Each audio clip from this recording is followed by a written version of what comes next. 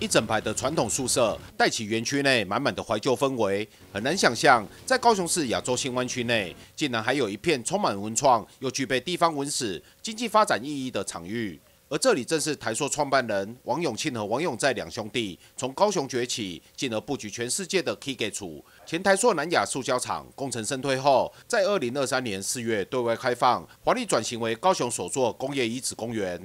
高雄厂是台塑 K 给处，见证高雄从重工业到观光城市的变迁。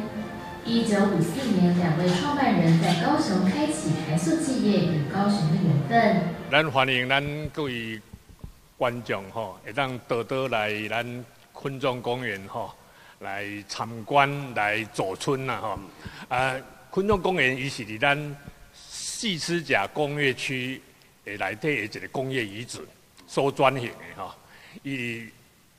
咱台塑诶起家厝，诶，伫民国四十六年吼啊建厂啊，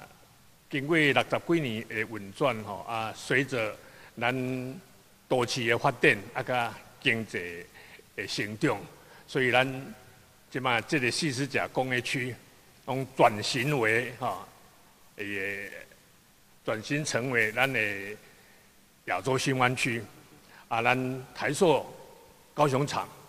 嘛，转变成为一个昆仲公园。一草一木一砖墙，一户一门一烟囱，都还不足以形容王氏昆中公园的特色。在喧闹的市区中，漫步悠闲地走入时光轨道，感受上个世代台湾经营之神王永庆和王永在那段在旧工业时期中和员工一起奋斗打拼的历史痕迹。宿舍厂区原址虽然经过翻修，但依然保存日式建筑风貌。屋梁上的块木依旧散发浓郁的香气。房间内木造橱柜和大通铺不是完整复刻，而是全貌全样保存至今，展示在大众眼前。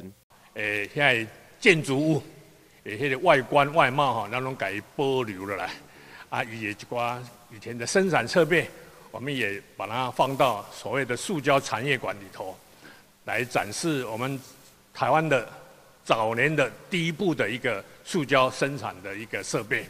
那我们也有漂亮的公园以及文化资产的一个修复与会内容哦，可以说昆中公园的内容非常的丰富，希望诶，所以我们高雄市民你们多多来利用。我们在这种条件之下，还可以这个发展的还更快。拿起话筒可以专线直播台塑创办人王永庆生前勉励企业员工的声音外，一旁的工厂设备展示区，还有当初最早第一套的生产设备，以及制造出来的零号胶布。园区多功能的规划，让游客不仅可以近距离观赏，而且园区才免费入园，也吸引外县市民众慕名前来参观。我是台北来的，然后因为前几天我看到网络上有，就是有报道这个新的地方，然后感觉很文青。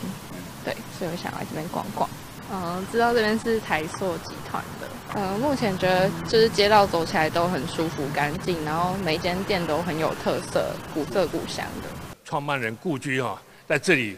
举家来住了十年了哈，在这里蹲点十年，所以是一开始是非常的艰辛的。那王永庆创办人他每一个礼拜就要坐夜车南下，也就是在那个故居里头哈。宿舍里头啊，晚上坐夜车啊，白天就在这里休息一下，就马上要看工厂。昆虫公园王执新长提到，园区内有多家文创特色店家，假日期间也有户外市集，欢迎大小朋友的莅临。另外也建议团体游客可以先上网预约参观时间，园区会安排导览人员进行解说，同时会不定期开启神秘时光廊道，让参观民众感受台塑创办人的智慧，说不定台湾也将能出现下一世代的经营之神。记者李佳龙高雄报道。